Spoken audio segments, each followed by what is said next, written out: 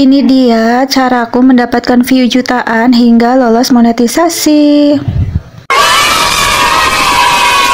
Halo, Assalamualaikum warahmatullahi wabarakatuh Kembali lagi di channel youtube aku, Aiko Tutorial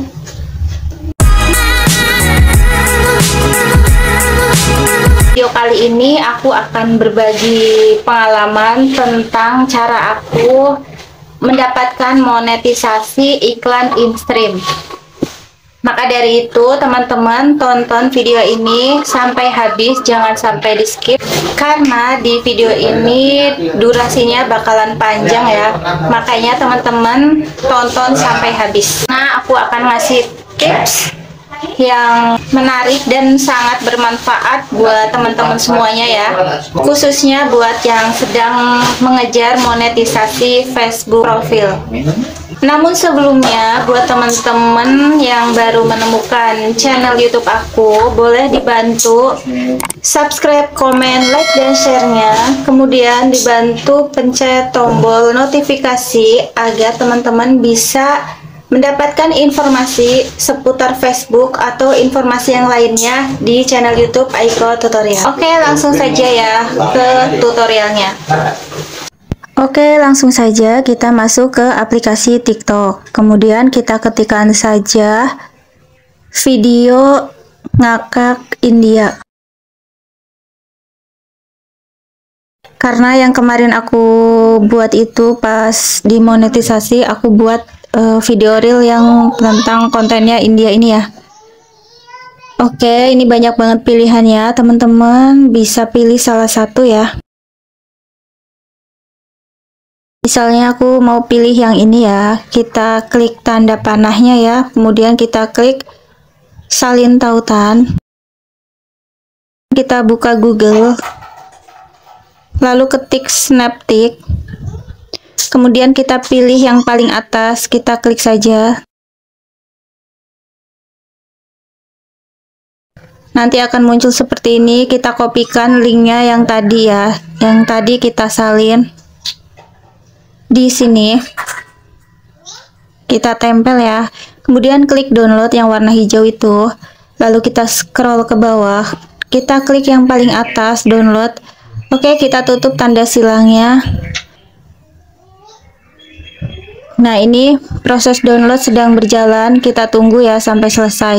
Lanjut kita masuk ke aplikasi CapCut. Kemudian kita download video yang tadi udah kita pilih ya. Nah ini ya videonya. Kemudian kita nonaktifkan suaranya.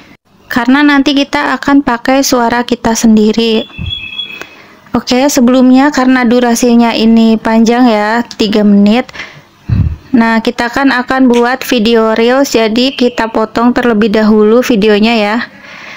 Kita buat 15 detik saja. Oke. Yang ini kita hapus, kemudian akhirannya juga kita hapus ya.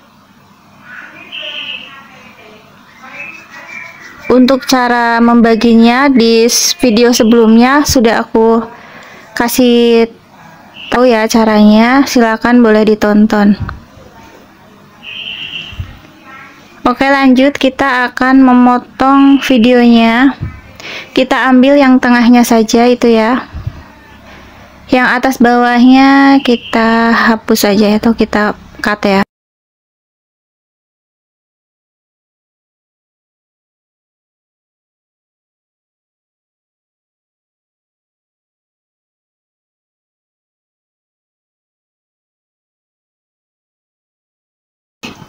Oke, kita klik saja centang yang di bawah. Kemudian kita atur ya di tengah seperti ini. Langkah selanjutnya kita putar videonya. Apa isi dari video tersebut kita pahami karena nanti kita akan mengisi suara kita sendiri ya.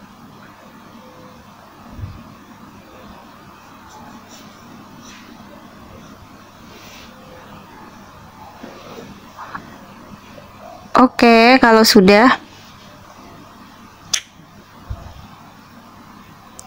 Kita kembali.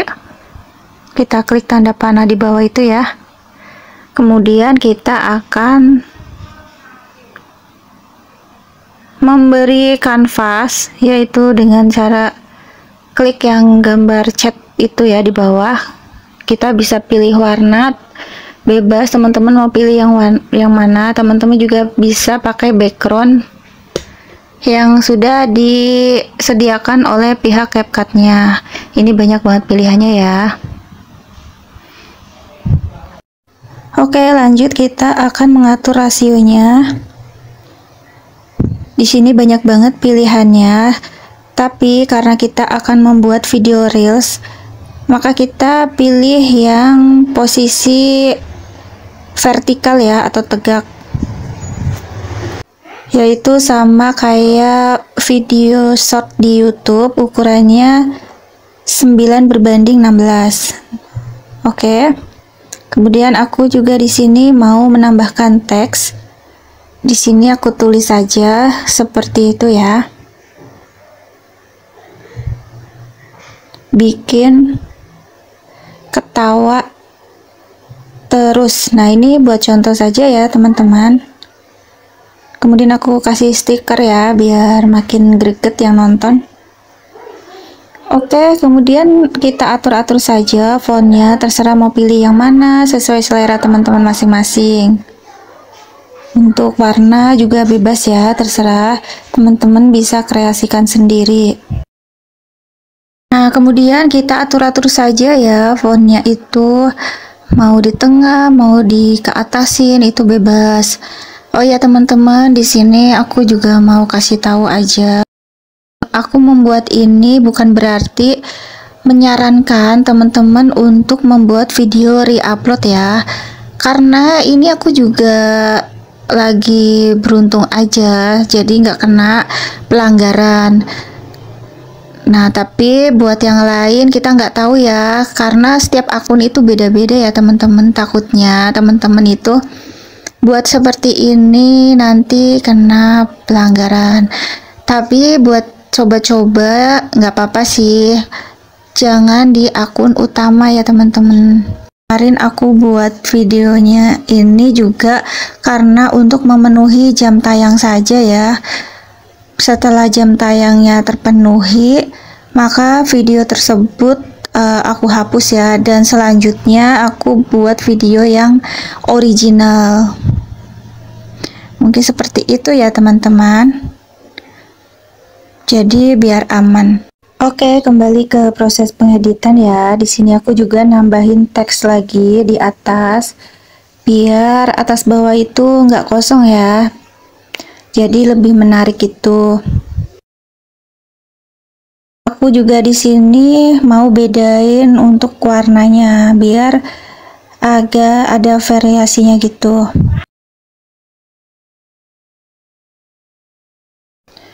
Nah, teksnya kasihan sekali pria ini gitu ya.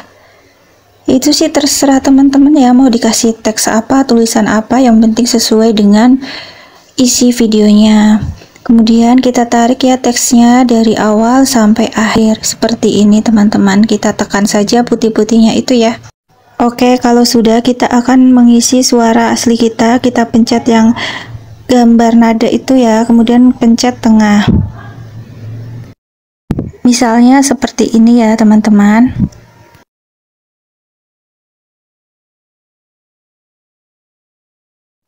Kalau sudah selesai, pencet tengahnya lagi ya.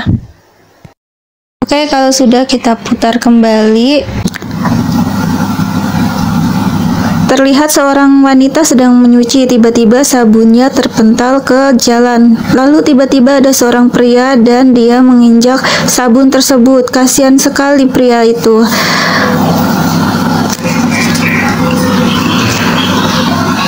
Kemudian suaranya kita kerasin ya, volumenya kita naikin. Nah, di sini walaupun teman-teman gak pakai clip on, itu suaranya akan terdengar jelas ya. Nah, seperti itu ya teman-teman. Kemudian untuk videonya kita cut, kita sesuaikan dengan audionya. Oke, seperti ini ya.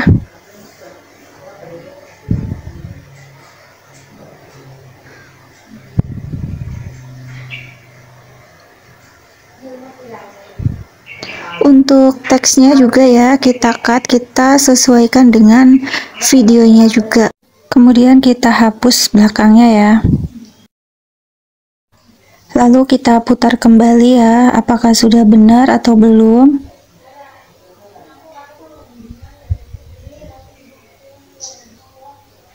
Nah seperti itu ya.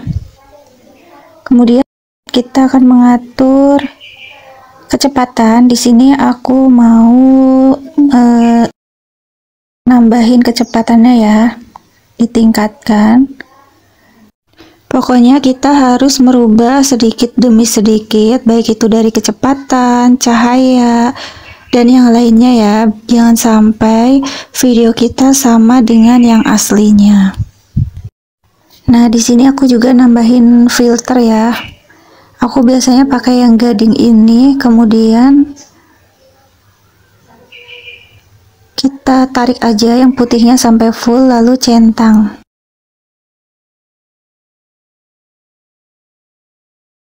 Oke, kalau sudah kita save saja, kita klik tanda panah yang di atas. Namun sebelumnya kita pilih uh, resolusi dulu ya yang paling tinggi yaitu 1080 biar kualitas kita itu jernih dan juga bagus ya teman-teman.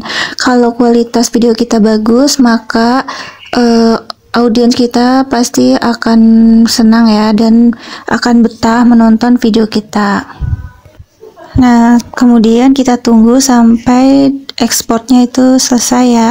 Lalu kita masuk ke aplikasi Facebook. Nah, ini aku masuk ke halaman Facebook aku ya. Ini baru aja aku buat ya teman-teman, khusus komedi. Untuk cara uploadnya, kita klik yang real itu, yang warna merah. Kemudian kita pilih video yang tadi sudah kita edit di CapCut ya. Nah, yang ini Nah ini hasilnya ya teman-teman. Karena ini sudah ada teksnya Jadi teman-teman gak perlu nambahin teks lagi Karena takutnya terlalu rame ya. Kemudian kita juga menambahkan deskripsi Yang sesuai dengan isi video Lalu hashtagnya juga ya. Pakai hashtag yang viral. Atau yang bersangkutan dengan video tersebut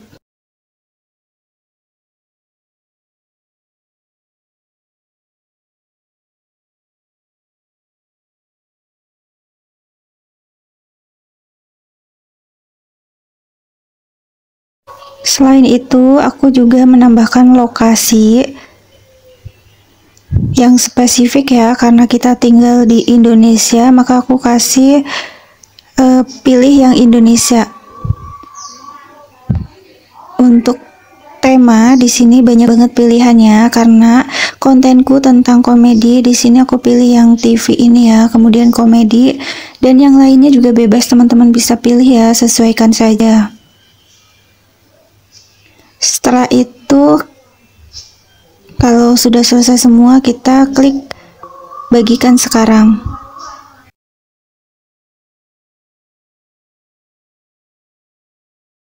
Oke, tunggu sampai uploadnya selesai ya. Nah, kita cek sekarang. Ini dia ya, teman-teman, sudah terupload. Hasilnya seperti ini. Oke, teman-teman.